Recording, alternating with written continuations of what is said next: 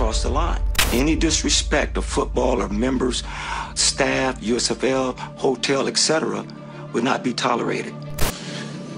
I didn't think I did anything or said anything disrespectful. I read a lot of my comments, not too many because some of them could get toxic, but for the most part, when a large majority of you guys went on to my USFL rules versus NFL rules video and requested for more USFL content, I'm not going to ignore my audience. So the USFL debuted this past weekend, and boy did we get a show. Everything from first person views of dirty hits to drone cameras to Jason Garrett interviewing Jeff Fisher and Todd Haley and actually asking them how to build a winning culture. No, that actually happened. All the way to a player losing his job over a slice of pizza, which I cannot wait to break down for you guys. In this video, we're going to go over everything you've missed in weekend one of the USFL. Now, before we get to the content, we're giving away $250 to two of my followers on Twitter. All you have to do is follow me on Twitter at Mikerophone NFL. And if you want, turn on my notifications. Now that we get all that out of the way,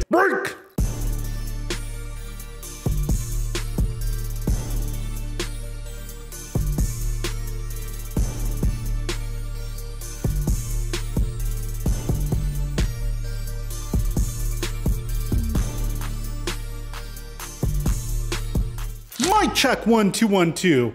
Going on, everybody? The USFL opened up with some fantastic football. Luis Perez, a star of the AAF, opened the USFL season with a 49 yard pass to Randy Satterfield. Something that stuck out to us almost immediately is the fact that the game featured some unique camera angles. There were drone cameras flying all over the field to give players an alternative view of the game. I feel like this was really cool on kickoffs, and alternative camera angles were a huge theme of the USFL's opening weekend. My absolute favorite was the helmet camera because I don't think we've seen anything like this in actual football games. I mean, seeing a pick six from a first person view brought me back to when I was playing ESPN NFL 2K5 as a 12 year old. Speaking of which, we're going to start doing gaming on twitch.tv forward slash TF Mikerophone. If you guys want to check it out, a link to that's in the description down below. We also had an opportunity to see a dirty blindside hit from a first person view. This adds a brand new element to enjoying the USFL, and shortly after we saw former Seattle Seahawks QB Alex McGough throwing a beautiful bomb of a touchdown to Osirus Mitchell, you can make the argument that the USFL was going to be a very entertaining spring football league. Although the real entertainment would come off of the football field, and we'll get to that in just a sec. The best game of the weekend was played between the New Jersey Generals and the Birmingham Stallions, which featured a beautiful touchdown pass from Luis Perez to Braden Bowman with 9 minutes and 10 seconds left in the second quarter, and a laser from J'Mar Smith to his tight end with 5 minutes and 56 seconds left in the fourth quarter. J'Mar Smith would score the game-winning touchdown to cap off Birmingham's 28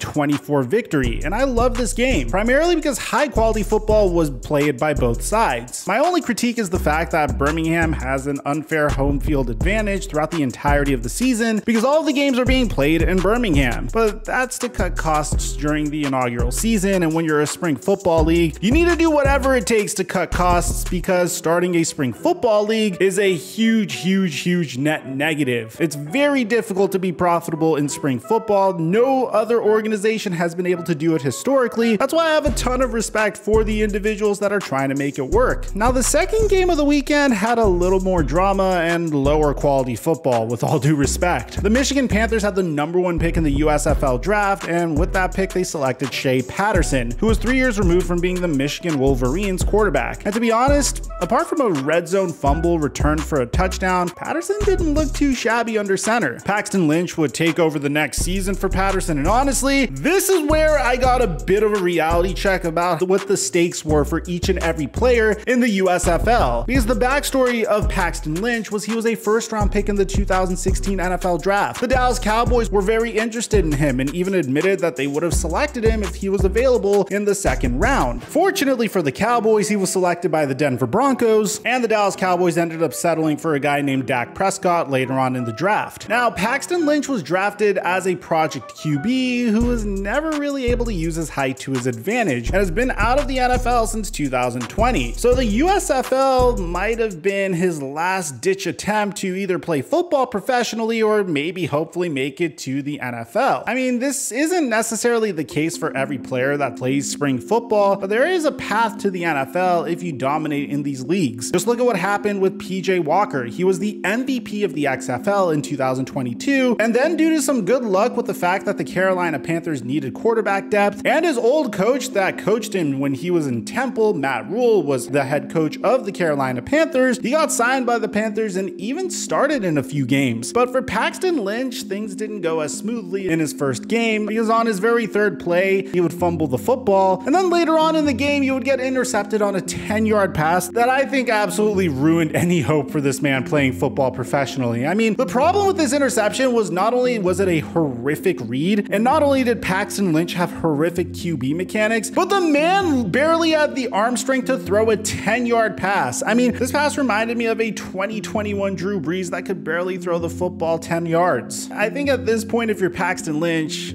you gotta consider packing it in and maybe transitioning into coaching. Now, this brings me to the most important part of the video, and I think it's the fact that the success of the USFL is 100% dependent on their execution of being able to do this, and it's the fact that they need to instill a sense of drama in their product. Now, the NFL is a star-driven league. Yes, you're watching incredible highlights by Patrick Mahomes, Aaron Rodgers, Antonio Brown, and Tom Brady, but the storylines are a huge component component of what fires us up. From Jackson Mahomes irritating all of us and dancing on the sidelines, to Aaron Rodgers being cryptic about his future, to Antonio Brown being, well, Antonio Brown, to Tom Brady mulling his retirement and coming back, it is not a stretch to say that the fans care about these players. Fans care about the drama of the NFL. When Tom Brady returned to Foxborough as a Tampa Bay Buccaneer, we were all glued to our TVs last year. The USFL needs to find a means of doing that, and it's especially challenging challenging when you consider the fact that the USFL doesn't have the stars that the NFL has. I originally thought it would be an awesome idea to follow the players with cameras in a hard knocks type of fashion. I mean, Formula One was able to generate a ton of interest with their show on Netflix, and the USFL can generate a lot of interest if we understood some of the storylines behind these players. And a great indicator of that was what happened with a slice of pizza and De'Veon Smith. Now, I wanted to shout out Shooter Bob for tagging me in this on Instagram and bringing it to my attention yesterday. I would have made a video on it yesterday, but I'm trying to take days off because, well, people have been telling me to take more days off. And to give you a backstory of this, De'Veon Smith was the running back for the Michigan Wolverines during the mid 2010s, but is mainly known for being the XFL's leading rusher in 2020. So this is a guy that at the very least does deserve a spot in this league. Smith would get drafted by the Pittsburgh And was set to debut on Monday until one very interesting interaction where he quote unquote crossed the line. Well,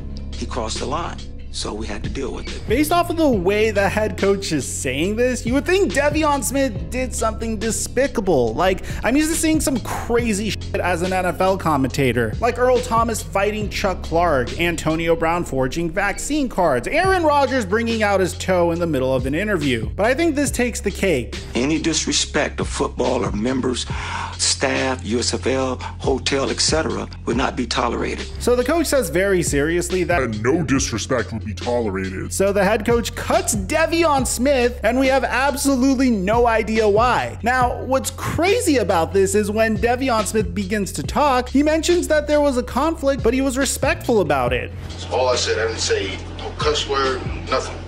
But here's where things get absolutely insane when we find out what the conflict was about. I was like, he said, it's not gonna be a problem. I said, yes.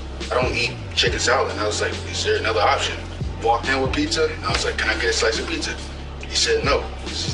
So he says, yes, I don't eat chicken salad. So the man wanted pizza over chicken salad, which, look, man, I get it if you want your players to eat healthy, and I've never heard of any healthy diet containing pizza. But maybe the man wanted to carb load before a workout. Maybe the man just hates salad. But the head coach doesn't seem like he wants to hear it. And, I appreciate you sharing that, but the matter's, it's done. It's done. I appreciate you, sharing it, but good luck. So he said that the release is done, which is wild. The coach sounded like he just cut his star player for a noble cause too. Someone's feelings, hurt feelings, are a distant second to the greater good of the team.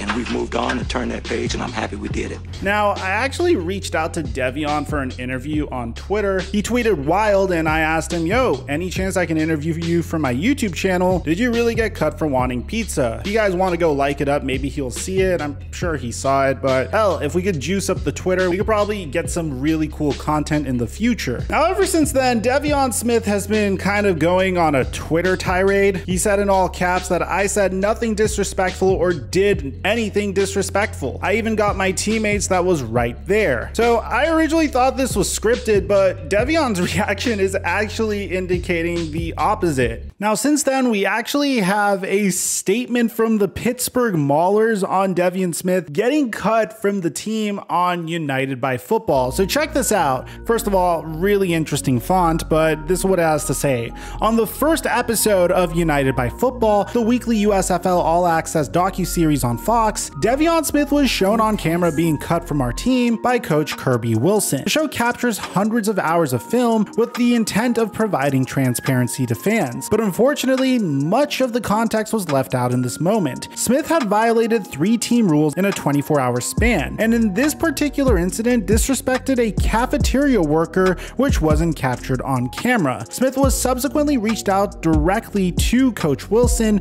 to apologize and asked to be reinstated to the Maulers roster. Now, I feel like it's very suspect that on one hand, they're claiming that there was hundreds of hours of film that was captured with the intent of providing transparency to fans, yet this one instant wasn't captured on camera, or none of the violations were captured on camera. And as a matter of fact, De'Veon Smith says exactly this. He quoted this saying, uh, What rules did I break? Why are you lying on my name? Say less. So he actually is referring to the three team rules that the statement claims that he is breaking, and then double down on this saying they really just put out a lie. Y'all really should be ashamed of yourselves. Then he tweeted out, See, now you guys are playing with my character and who I am as a man. Show me three team rules that I broke, please. Now, here's the interesting thing because the statement is a little sus saying that he broke three team rules, but didn't really provide any evidence of such. De'Veon Smith apparently has receipts about this entire incident saying, Now, if I send these screenshots from our exact convo,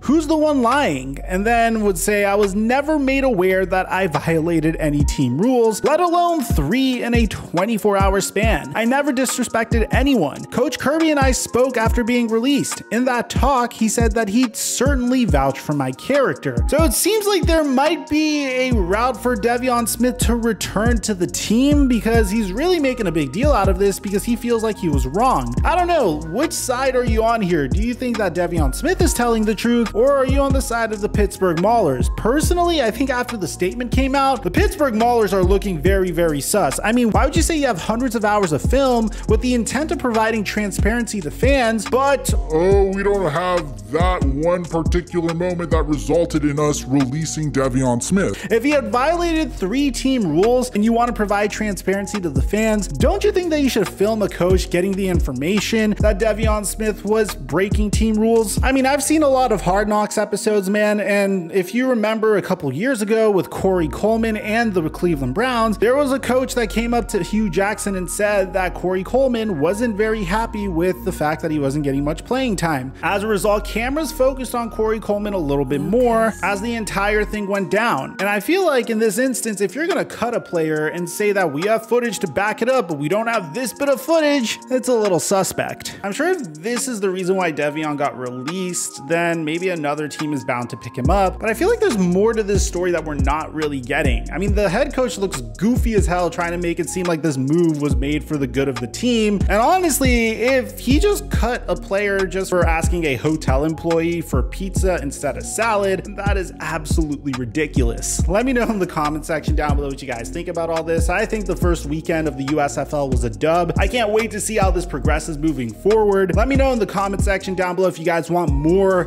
USFL reviews like this. Aside from that, I'm your boy Mike, and I'm dropping our mic until our next upload.